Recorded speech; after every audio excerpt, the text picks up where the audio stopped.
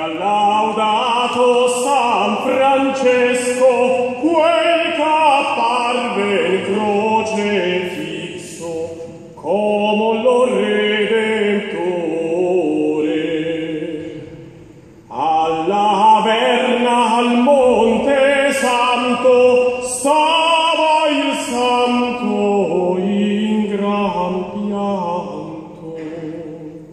il qual pianto gli muta in canto il serafin consolatore